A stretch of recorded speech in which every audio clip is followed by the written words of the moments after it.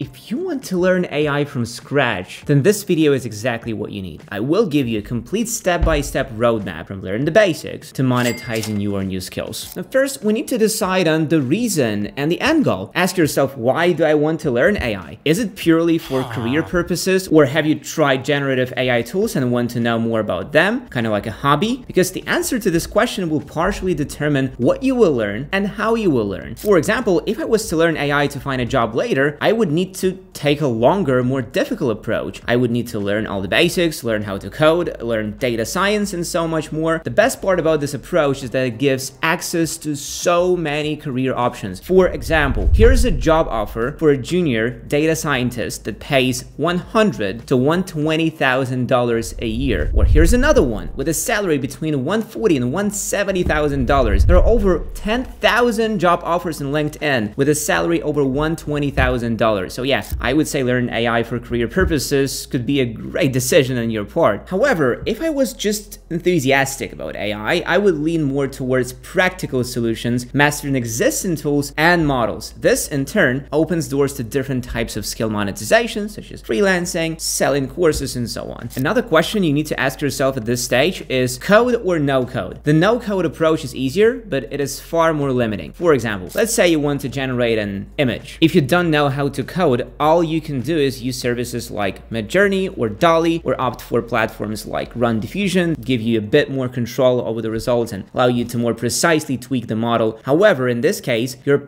practically limiting yourself to the services and what they allow you to do. So if you decide that you can train the model a bit better for your specific task, you might not be able to do so. The code-focused approach, on the other hand, gives you far more flexibility both in terms of the models you can use and the things you can do with those models. For example, let's say you want to create deepfake videos. A no-code way of doing things would be scouring the web for available tools, paying for subscriptions, having almost no control over the outcome, and hoping that the results would be somewhat decent. But if you know how to code and ready for a challenge, you will be able to deploy one of the available deepfake models right on your computer, tweak every parameter to your liking, give the model access to as much data as you want, and as a result, get a flawless deepfake. And by the way, here's a list of great deepfake models that you can try. But again, you have to have at least some coding skills and be ready to spend hours tweaking everything. And I'm sitting here talking about a career in AI and I didn't even mention how you can learn all that. For this, I recommend Artificial Intelligence Engineer Master's Program by Simplilearn. This program is a collaboration of Simplilearn and IBM, and during the program, students will get access to hackathons,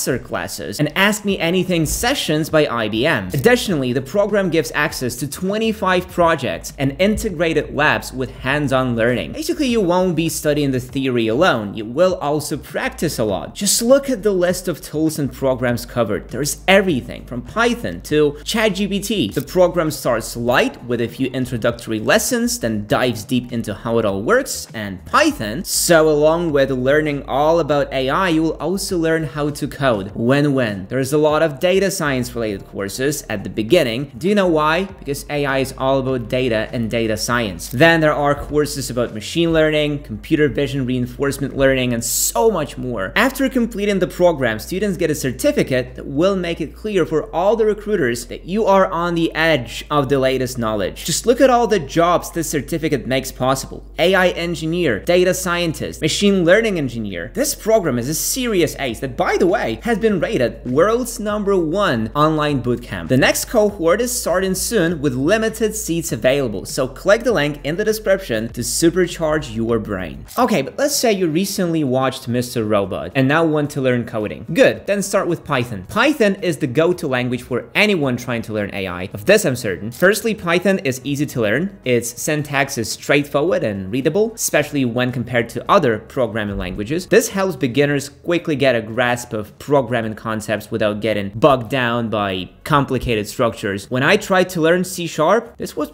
really hard. Another reason to go Python is its strong library support. Libraries like TensorFlow, PyTorch, and scikit-learn are essential in AI development. They basically give pre-built functions and frameworks that help simplify complex AI tasks, allowing you to focus more on solving problems rather than building tools from scratch. Python also has a large and active community, which means there are plenty of resources available, such as tutorials, documentation, and forums. And as an icing on the cake, your knowledge of Python can be used not only in the AI field. Python integrates well with other languages and tools, so whether you're working on web applications, data analysis, or scientific computing, Python is equally capable of everything. So once you learn Python, you can practically do anything. But Python alone won't cut it. To learn AI effectively, you need to reverse engineer existing models and tools. There is no better place to find them than GitHub. Many AI projects, models, and datasets are shared in GitHub by the people for people. Notice that I said learn GitHub. Well, despite looking like a regular website, GitHub is far more complicated and takes some time to learn how to properly use it. Hey, if you manage to do it, you will literally get access to the knowledge of coders from all over the world. Models, datasets, or even complete projects for you to learn from, GitHub has it all. And as a bonus,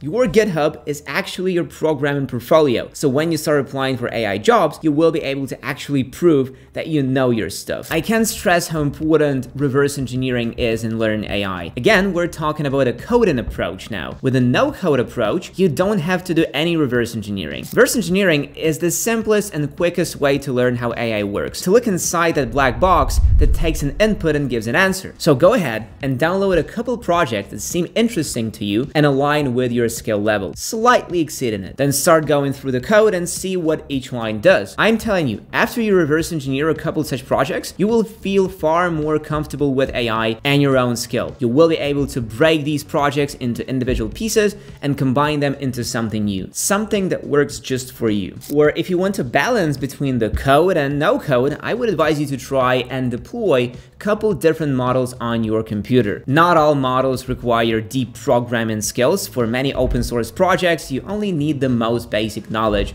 of Python and a couple libraries. If you decide to go this way, I recommend you choose models that have some sort of a visual interface so that you could operate them more easily. I'd say that this way of doing things can be a next step for people who already feel confident with web-based AI models but don't feel ready for programming challenges. When learning AI, it's crucial to not limit yourself to one specific thing, at least in the beginning. When you're just starting, you need to try as many things as possible. This is the only way to find out what you're really interested in that works for you. If you feel that image generation is something you want to look deeper into, maybe you should also check out the video generation models. Or if you're into language processing, then maybe you should also take a look at data science. There are so many directions you can choose, and that's why I advise you to look into different options earlier. Once you complete a couple introductory courses and try new things yourself, it will be the time to pick your option to choose the direction you want to grow. It can be language processing, data science, or even developing AI models. It's all up to you. But making this choice is a crucial step in everyone's AI journey. Once you do pick a clear direction, it all becomes slightly easier. Just find a course and complete it, then another one, then another one, then you reverse engineer as many existing projects as you can and try to come up with your own project, trying to create it from scratch. Then you refine it, get rid of mistakes, optimize the algorithms, and debug, debug, debug. Though this is only if you decide to choose a coding approach. If you pick a simpler way without coding, all those previous steps with completing education courses are practically irrelevant to you. You know what you like, and you just